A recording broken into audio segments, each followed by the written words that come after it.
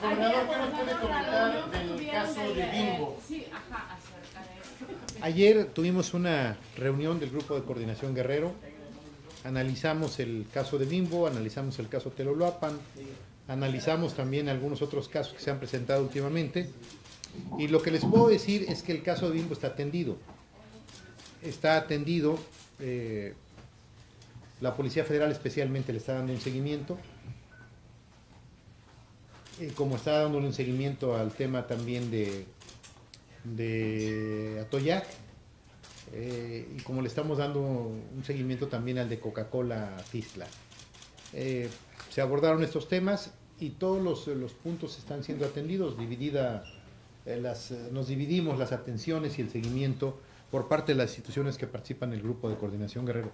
Mi conclusión es decirles que están atendidos los temas. Reanudaron operaciones hoy, ¿no? Mencionaba el fiscal. Entiendo que sí, entiendo que están reanudadas las operaciones y vamos a estar muy pendientes que caminen con normalidad. Coca-Cola y la, y la Pepsi, gobernador, en, en la transparencia ya tiene varios meses que no está funcionando. El tema, de, el tema de ella es más complicado, también se le está dando un seguimiento, ¿verdad? Tiene otra magnitud ese problema. Para conocer la solución, el día de ayer el alcalde inclusive fue criticado por decir que podría dársele o- a la empresa Bimbo algunos fiscales como descuentos o licencias. ¿En esa vía va la solución de la problemática en relación con para que reanude sus rutas Bimbo? No, nosotros en el grupo de coordinación guerrero lo que planteamos es cómo apoyarlos en materia de seguridad, que ellos sientan que hay un respaldo respecto al problema que han enfrentado. La comunicación que se ha dado especialmente en el caso Bimbo ha sido a través del responsable de la Policía Federal, David Portillo, y se le dio eh, también un seguimiento ayer mismo de comunicación con el gerente. ¿Qué información le dan Gobernador, ¿qué respecto piden a los la situación que habitantes se de presentó en la Telolapan? fiscalía? ¿Qué información le dan hasta este momento de lo que se presentó fuera de la fiscalía en Chilpancingo? Eh, el, el tema se está analizando eh, y seguramente tendremos más información en el transcurso de, de las próximas horas. Gobernador, su opinión acerca de que el gobierno federal están retomando la, legal- la legalización de la amapola. Maravilloso, pues es un asunto que planteamos hace dos años. Hace poco más de dos años yo lo planteé y cuando yo lo planteé, este, pues a muchos se quedaron asombrados, pero nadie me dijo que estaba yo loco. Yo felicito y veo con beneplácito, como lo comenté hoy en una entrevista con Oscar Mario Beteta, saludo el que se abra la puerta. Ojalá y podamos en los hechos concretar acciones no solamente de beneficio de grupo, sino de beneficio colectivo, que se mejoren en esta ruta, que pueda ser el tránsito hacia el tema medicinal, que se puedan eh, ver la manera de cómo se puedan mejorar escuelas, cómo se puedan mejorar carreteras, cómo se puedan dar electrificaciones, mejoramiento colectivo de estos pueblos que están especialmente en la sierra y en la montaña. Lo veo con beneplácito, lo que planteamos nosotros hace más de dos años.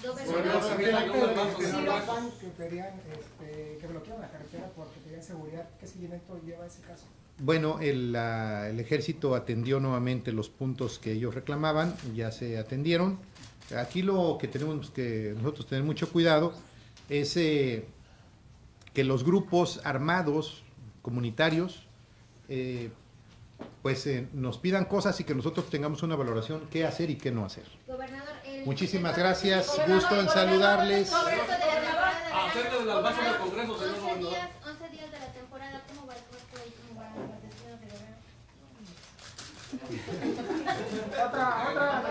Bueno, el, el- el- el- el asunto es de que eh, traemos un promedio de ocupación del 75% entre semana, como es hoy, y obviamente sube en el fin de semana. Y el fin de semana se va al 90, al 92, hasta el 95, dependiendo en qué zona. Creo que va bien el tema turístico.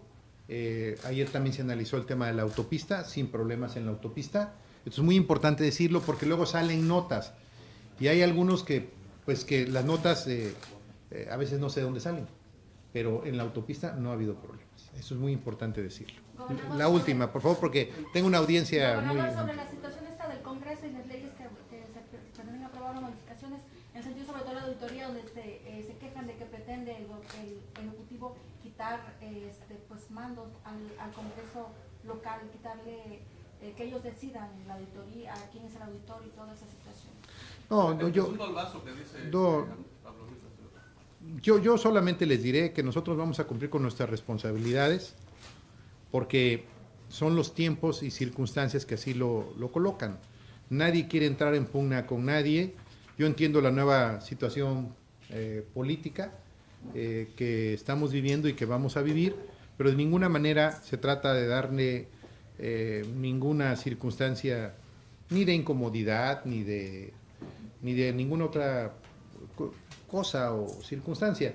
Eh, nosotros vamos a cumplir con nuestra responsabilidad y eso nadie nos puede impedir que nosotros cumplamos con nuestras responsabilidades. Así de sencillo. Pero eso sí pretende ¿Cómo va la quitarle. No, no, no, no, no, no, no hay eh, nada de eso, eh, porque son temas que están relacionados con el combate a la corrupción y que, y que son pendientes que se tienen que, que atender. Eh, Perdón, Con Pablo Mícar no hay, se percibe una tensión entre ustedes. no he tenido yo el gusto de No, no conversar con él. No, no he tenido yo el gusto de conversar con él.